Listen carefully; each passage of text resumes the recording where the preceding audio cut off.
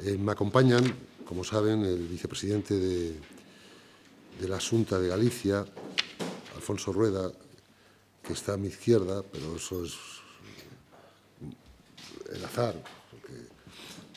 y, y, el consejero... También por azar, que estaba sentado en el está, es, es, lo que quería decir, el consejero de, de Presidencia, Justicia y que también es portavoz del Gobierno de la Comunidad de Madrid, Ángel Garrido.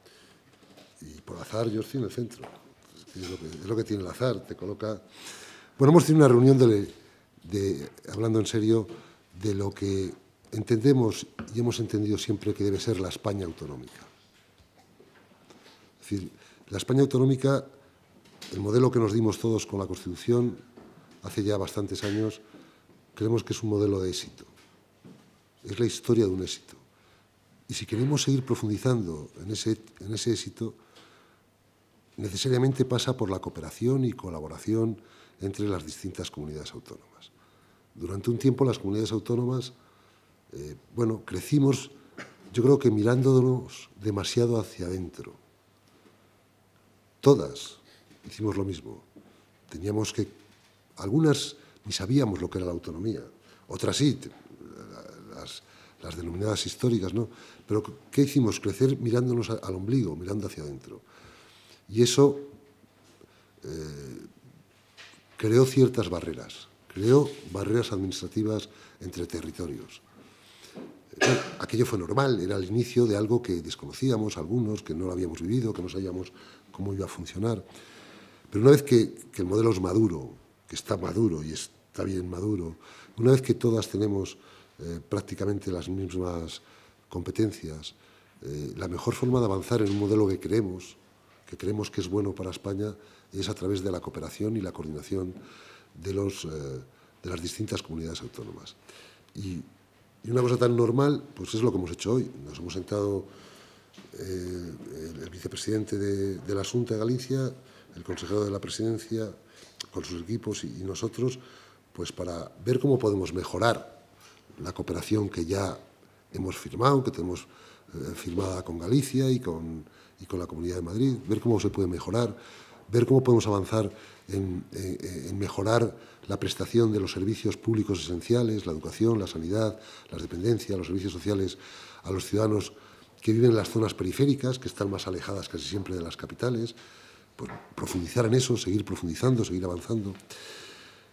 Eh, y, hemos pensado que lo mejor era eh, eh, intentar elaborar un documento para que un documento de colaboración para que fuese firmado, rubricado por los por la presidenta de la Comunidad de Madrid, el presidente de Galicia y el presidente de, de, de la Junta de Castilla y León, y eso se va a producir, esa firma, y ahora les diré algunos contenidos, se va a producir en la segunda quincena del mes de enero. Es un documento donde queremos impulsar desde el punto de vista social, económico y cultural el eje Madrid, Castilla y León, Galicia. Eh, ¿En qué cosas podemos compartir? Pues eh, hay muchas cosas que nos unen, además de España. Que, yo creo que también es bueno hablar de España, pero con, absoluta normalidad. ¿Cuánto cuesta en este país últimamente o desde hace tiempo hablar de España? Por supuesto que nos une España, pero además de eso hay intereses comunes y que juntos lo haremos mejor, seremos más fuertes. Y eso tiene que ver, lo planteaba el consejero de la Comunidad de Madrid, con como tres grandes ejes. Luego les aseguro que van a hablar ellos. ¿eh? Tres grandes ejes. Un eje que tiene que ver con, con la movilidad, con los servicios esenciales y con los servicios de emergencia. Un segundo eje que tiene que ver con todo aquello relativo a la cultura, al turismo, y ahí también podríamos meter eh, a nuestras marcas territoriales. Las tres comunidades tenemos tres marcas territoriales, territoriales potentes. Aquí, como saben, es eh, la marca Territorio, eh, Galicia Calidade y M, M. Bueno, pues colaborar, que las tres marcas territoriales colaboren eh, en, calidad dentro de, de, de, los distintos foros de que hay para estas cuestiones, desde el punto de vista de foros alimentarios, es decir, no se trata de competir, sino colaborar, hacer promociones comunes, informaciones comunes. Luego también eh, en el, eh, estaría, no estaba ya en ese eje, en el segundo eje, en el eje cultura, turismo y medio ambiente, que hay una pieza clave, sería todo lo relativo al Camino de Santiago de Madrid. ¿no? Es, una pieza clave de colaboración, de impulso a ese Camino de Santiago, eh, pero ahí también puede haber intercambio museístico entre los, los tres territorios. Eh, lógicamente, para, para que estas cuestiones y otras que aparecerán relativas a función pública, como es la tasa de reposición, etcétera, etcétera, que aparecerán, que vamos a empezar a trabajar para, para construir ese documento que firmarán los tres presidentes, pues eh, pasa, muchas de estas cosas pasan por solicitar al gobierno de España, al próximo gobierno de España, eh, pues que continúe impulsando decididamente el AVE hacia Galicia. Y ahí las tres comunidades opinamos lo mismo. Queremos solicitar al nuevo gobierno de España, al futuro gobierno de España, que continúe impulsando el AVE para que llegue definitivamente a Galicia. Porque va a ser una pieza fundamental para el engranaje o para sí, el engranaje de este, de este eje Madrid-Galicia eh, eh, Castilla y León. Se, se, olvidaba la mía. Y también vamos a hablar en ese documento y en, esas, en estas reuniones de trabajo de algo que puede sorprender, ¿no? que es la de la financiación autonómica. Sí, digo porque puede sorprender porque están pensando que Madrid no comparte los criterios de Galicia y de Castilla y León, pero sí que comparte lo que compartimos todos, que es que haya una financiación justa, una financiación suficiente para todos los territorios. Por supuesto que Madrid tiene unas peculiaridades que no tiene ni Galicia ni Castilla y León, pero sí que compartimos que hay que modificar el modelo, que el modelo nació agonizando, que no sirvió en ningún momento, que es insuficiente para todo y todos creemos que el modelo sea suficiente. Madrid quiere que el modelo sea suficiente para ello, pero también quiere que sea para Castilla y León y para Galicia. Y nosotros creemos que sea, lógicamente, Galicia y nosotros suficiente para Madrid. Es que el modelo es insuficiente, no es justo. Entonces queremos un modelo justo, pero sobre todo suficiente y que financie adecuadamente las competencias que hemos asumido del, del gobierno de la nación. Y, y, ya por último, en el, no sé si lo ha anunciado, en, el, en la segunda quincena sería la firma de enero y en el primer trimestre del próximo año, y ahí está por decidir dónde, vamos a hacer, para relanzar este eje, un foro económico y social, con todos los agentes económicos y sociales de las tres comunidades autónomas. Eso lo haremos pues, de, en torno a marzo, finales de febrero, marzo, en el primer trimestre del año. Y yo ya no les doy más la lata, les agradezco mucho que hayan esperado, les pido disculpa y que nos hayan escuchado y si les parece el consejero de, de Presidencia de Madrid o el vicepresidente de Galicia tiene la palabra y luego quedamos a su disposición para lo que nos deseen formular.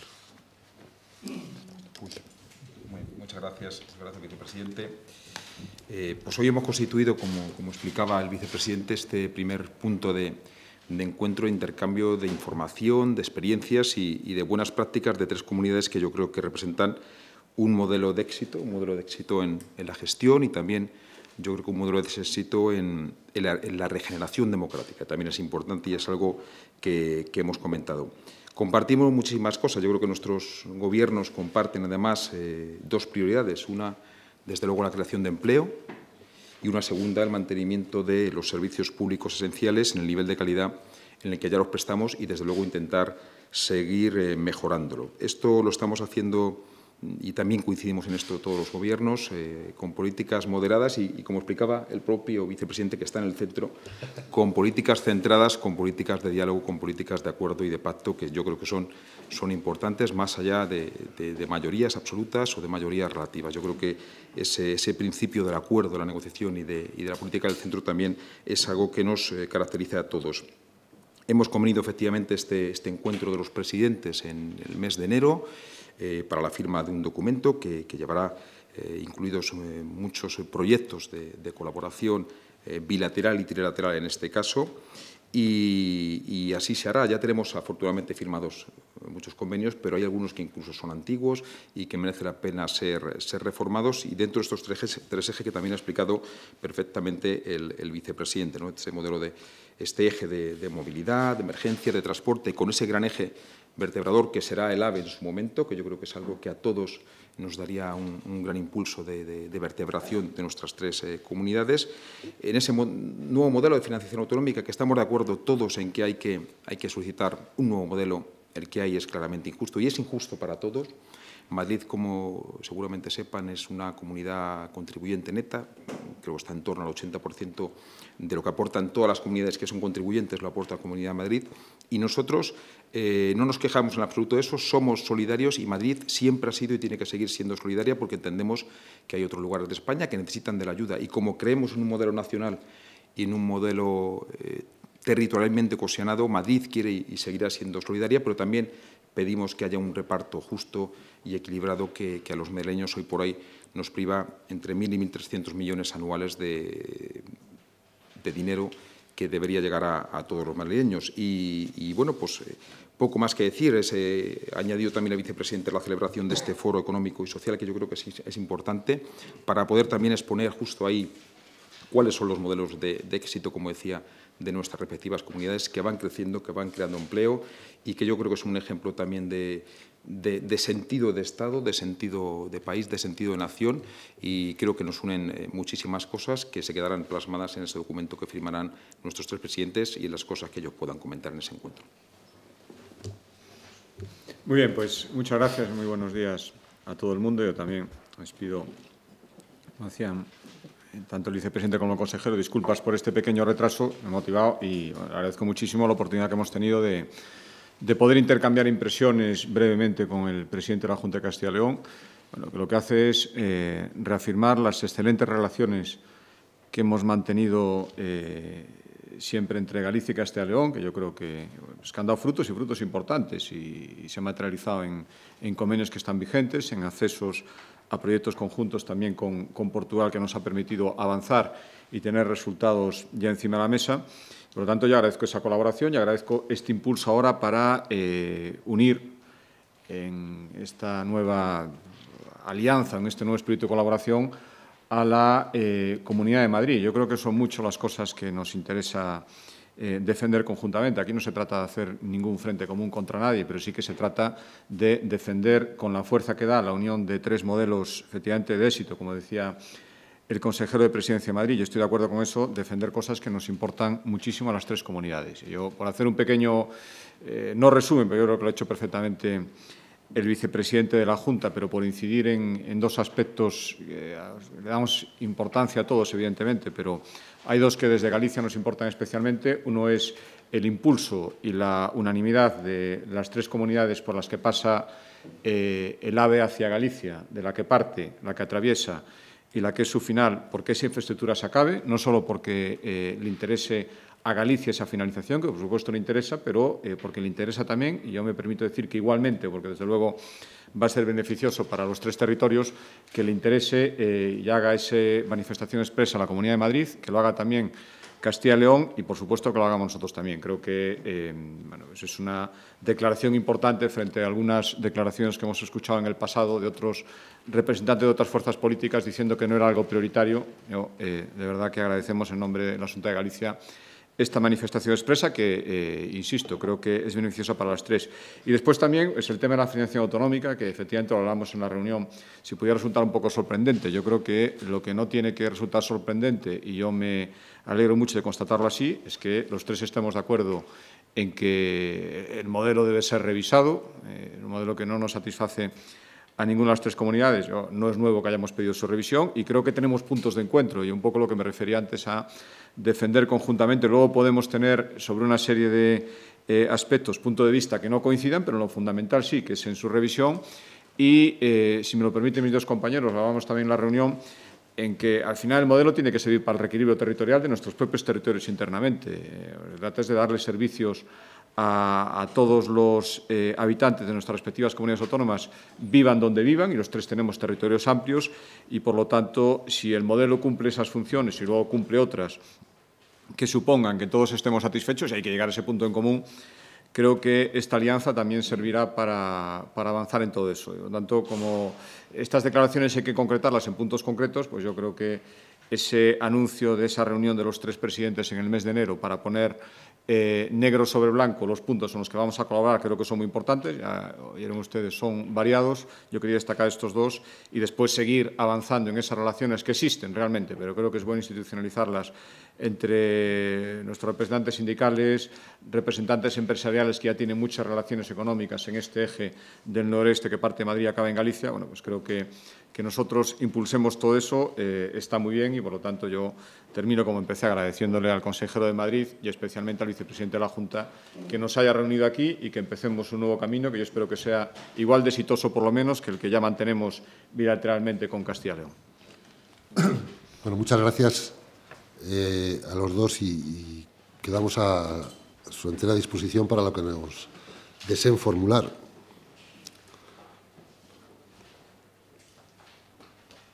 Sí, ha hablado el vicepresidente gallego de, en su intervención de que eh, no hacen un frente contra nadie, pero sí un frente, de, un frente de exigencia. Evidentemente, teniendo en cuenta quiénes presiden las tres comunidades autónomas y tal y como está el partido al que ustedes pertenecen en fase de, formación de gobierno y luego en fase de renovación en los, sucesivos congresos nacionales y regionales, eh, el hecho de que haga esa matización de que no es un frente para nadie puede llevar a pensar aquello de si no quieres pensar en un elefante, lo, que te viene a la cara es un elefante. Es decir, no hacen un frente para nadie, pero lo que estamos asistiendo aquí es a la creación de un frente autonómico dentro del Partido Popular para la exigencia de lo que usted dice, pero a lo mejor también para otras cosas.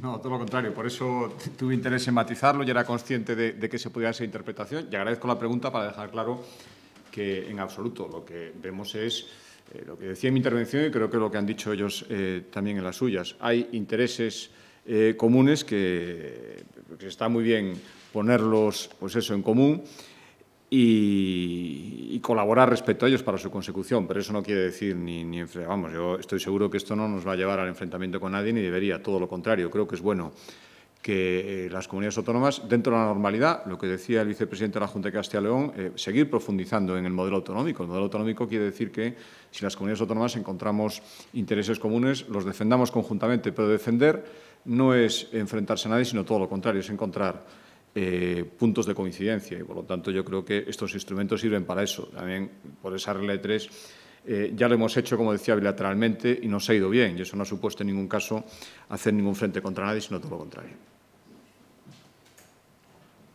¿Qué ha sido estas tres comunidades, más allá de que compartan el Camino de Madrid, el AVE? ¿Por qué se ha empezado por estas esa unión, estas tres, estas tres comunidades? Mire, era algo que veníamos hablando lo que pasa que le recuerdo que la comunidad de, Galicia ha tenido elecciones hace poco, hace poco. Aprovecho para felicitarles, no, sé si te había felicitado, yo creo que hay que felicitar a Alfonso Rueda, ha tenido hace poco elecciones autonómicas. Habíamos hablado de que teníamos que hacer algo, de teníamos, que teníamos que verlo, que teníamos que revisar eh, los protocolos que ya teníamos firmados.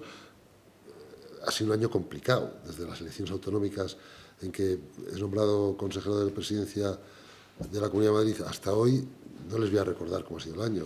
Ahora espérate que ha habido que va a haber elecciones generales, eh, luego otra vez elecciones generales, luego y, al final hemos decidido, oye, pues hay que hacerlo ya. Pero veníamos hablando desde hacía tiempo de buscar la fórmula de profundizar en la cooperación horizontal entre comunidades autónomas.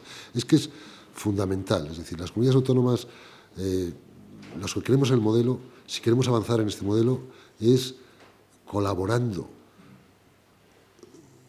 pero colaborando para mejorar la calidad de vida de los ciudadanos de nuestros territorios, desde el punto de vista de los servicios esenciales como desde el punto de vista del empleo, de la economía. Este es el camino que hay que seguir. Y hemos pensado que este eje es un eje muy potente, que, une muchas cosas, que nos une muchas cosas en este eje. Es un eje potentísimo. Si usted mira el mapa de España, le aseguro que es un eje muy potente. Y este eje se va a a coser perfectamente para casi todos los proyectos que queremos impulsar con la llegada del AVE hasta el último punto que tenga que llegar de Galicia. Es que no me sé hasta dónde tiene que llegar el AVE. Hasta Santiago. Hasta Santiago. ¿eh? Se va a coser. Pero hay cosas que ya podemos empezar a hacer y que ya podemos... Pero no... yo insisto, había, hacía tiempo que veníamos hablando los tres de este asunto, comentando cosas ya llega el momento.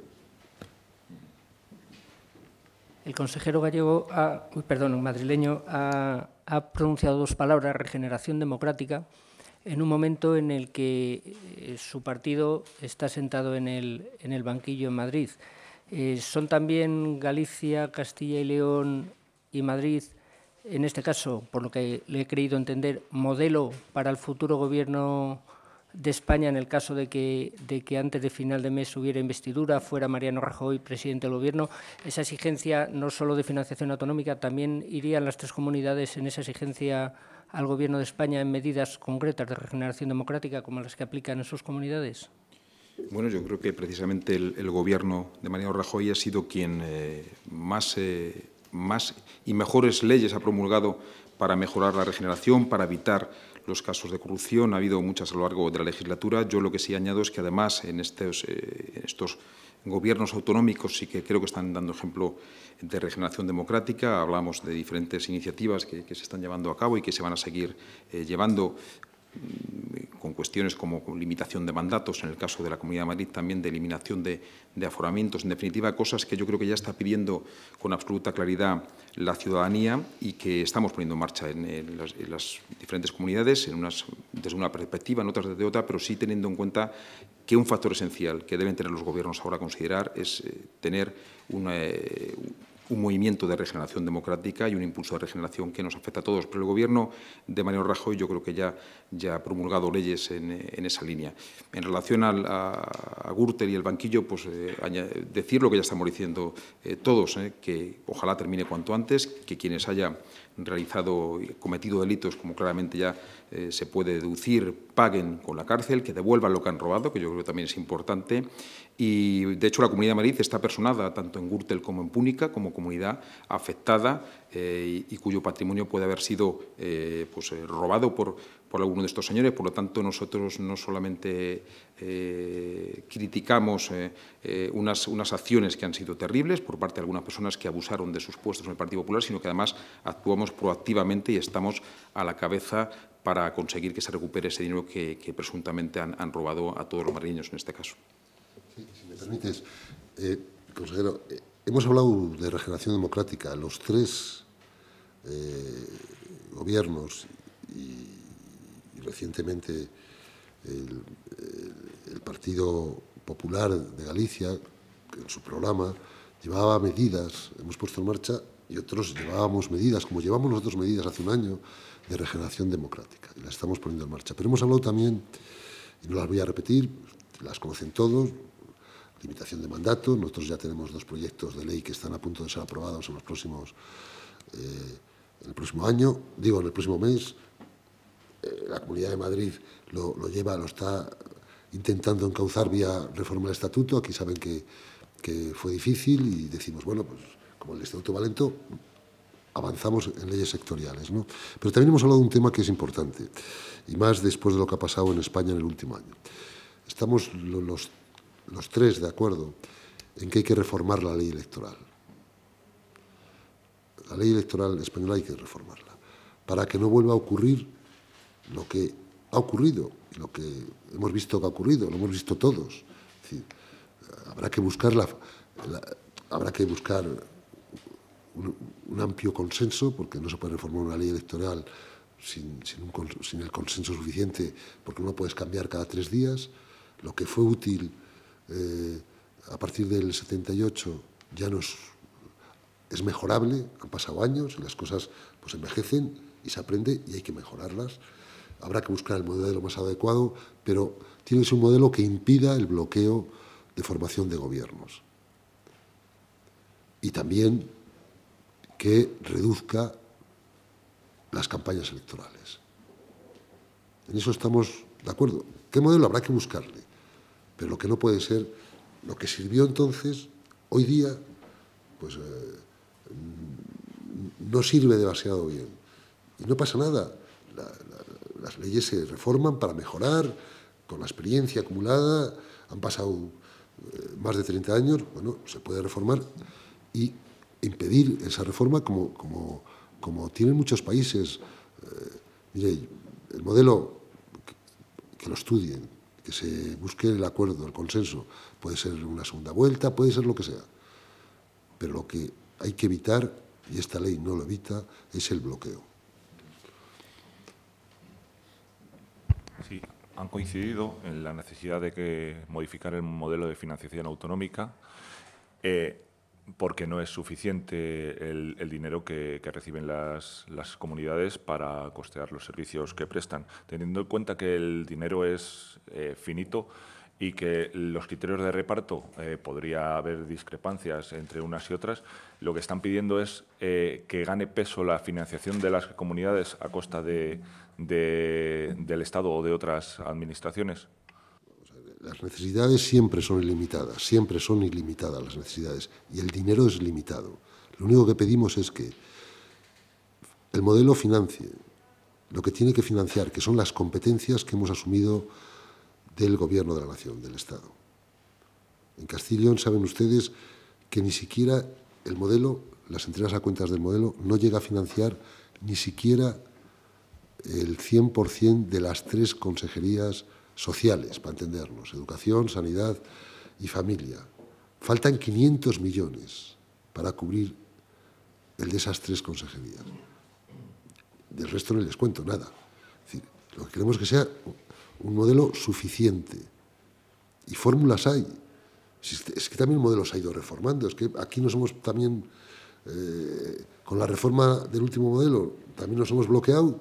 El modelo afortunadamente ha ido evolucionando y se ha ido ha ido mejorando y ha ido cambiando. La LOZCA ha, tenido mucho, ha sufrido muchos cambios. Cada cuatro o cinco años se reforma y se revisa el modelo. Lo que se trata es de revisar, pero no se hace contra nadie. Si empezamos así, pues es contra el Estado para quitarle más dinero. No, no, vamos a, a ver, vamos a, a, un modelo equilibrado. Y, y si equilibrado es que cubra lo que se necesita para prestar esos servicios esenciales que tú has asumido a través de unas transferencias. Eso es bien sencillo de entender. Pero no se hace contra nadie, ¿eh? ni contra el gobierno de la nación, ni contra las comunidades más ricas o menos ricas. No, mire, ¿usted cree que la Comunidad de Madrid eh, va a estar en contra, si el modelo es justo, que el propio modelo tenga un fondo, eh, el fondo que anunció, anunció el presidente Fijó para corregir equilibrios demográficos, desequilibrios, perdón, demográficos? Nosotros, por supuesto que no, estamos a favor, pero a la Comunidad de Madrid no la perjudica tampoco. Eh, España tiene un problema demográfico serio. España está perdiendo población. España. Y en España entra Madrid. Está perdiendo población. España está envejeciendo. Habrá que hacer algo. Es decir, aquí hablamos del, estado de bienestar y se nos olvida el pilar fundamental, las pensiones pues con la situación demográfica habrá que hacer algo. Y eso afecta a toda España. Hubo una época que solo afectaba a, Galicia, a Asturias, a Castilla y León, parecíamos que éramos las que perdíamos población, pero ahora pierde población desde que se inició la crisis, ha empezado a perder población en España entera, menos la ciudad de Ceuta y Melilla. El resto de las comunidades autónomas están perdiendo población. Pues, ¿qué, qué le va a perjudicar? ¿Cómo se va a poner? La, hombre, se opone si le digo, oye, eh, si le decimos, el fondo de, para compensar los, los, desequilibrios demográficos, te lo quitamos de tu sanidad. Dice, hombre, pues no, ahí sí se opone, pero ¿cómo se va a oponer? Eso es lo que hay que hacer, intentar sentarnos todos, todos, a ver cómo podemos arreglar algo que a todos nos disgusta. Les recuerdo que este modelo fue aprobado por un gobierno socialista, por el señor Rodríguez Zapatero, presidía el gobierno. ¿Han oído algún presidente de alguna comunidad socialista hablar bien de este modelo? Yo todavía no. Y hemos visto cambios, ¿eh? porque ha habido elecciones, han cambiado. ¿Algún presidente de alguna comunidad autónoma ha hablado bien socialista ¿eh? de este modelo? Ni los que estaban ni los que han venido. Vamos a hacer un modelo que satisfaga, pero, pero no al gobierno, no al gobierno de turno, no al gobierno de la Comunidad de Madrid, de Galicia o de Aragón, no, no, no, que satisfaga a los ciudadanos de los territorios. Si la financiación no es para el gobierno, es para dar respuesta a, los problemas y a las necesidades de los ciudadanos que viven en los territorios. No es una, una cuestión de prurito, que a mí me toque más o menos, no, que nos toque lo que es justo, para dar servicios de forma adecuada.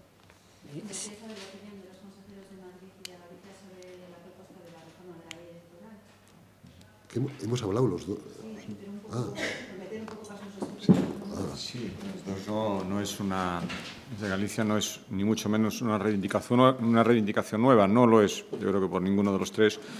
hablando por Galicia ya hace tiempo que pedimos con ocasión antes de la celebración de las elecciones municipales que hubiera una reforma eh, de la ley electoral para hacer algo tan evidente y creo que compartido por, tanta gente con independencia del credo político, que es que, que, que gobierne quien gana las elecciones, o por lo menos que no sea objetivo de, de muchos partidos que se presentan, eh, hacer lo posible para que quien, quien se sabe que va a ganar no gobierne en ningún caso. Acabamos de, como decía el vicepresidente de la Junta de Castilla y León, salir de unas elecciones autonómicas donde el programa de muchos partidos era echar al que estaba, sin más. No, no oímos mucho más. Oímos, se tiene que ir el presidente Feijó. ¿eh?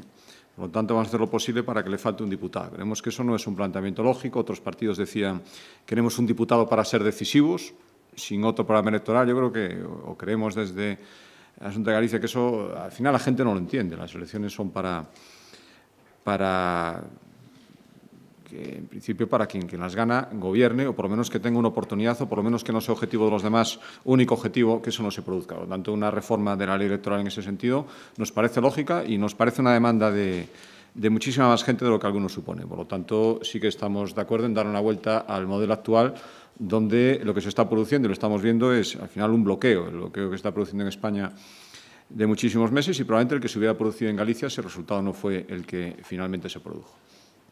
Sí, yo creo que todos estamos de acuerdo en que eh, esta situación de bloqueo que estamos padeciendo en este caso en España se solucionaría si hubiera una ley electoral que permitiera, como bien decían mis compañeros, pues que el, partido, bueno, todo el partido, aquel que más ciudadanos quieren que gobierne, tenga una posibilidad de hacerlo. En cualquier caso, esta reforma tiene que ser eh, con un amplísimo consenso. Eh, más allá de las mayorías que se precisen, yo creo que una, una, ley, una reforma de una ley de esta naturaleza tiene que tener el más amplio de los consensos y yo creo que parece razonable partir desde un punto en el que el partido más votado pues, tenga un plus a la hora de, de poder intentar gobernar, como ocurre en tantos países. Y en relación a la, pregunta anterior que contestaba el vicepresidente, decir que hoy también las comunidades prestamos la inmensa mayoría de los servicios públicos esenciales. Yo, en la Comunidad de Madrid, de hecho, nueve de cada diez euros de de nuestro presupuesto de 17.000 millones van destinados a políticas sociales, o sea que son servicios absolutamente esenciales. Es decir, las comunidades lo que pedimos es simplemente un reparto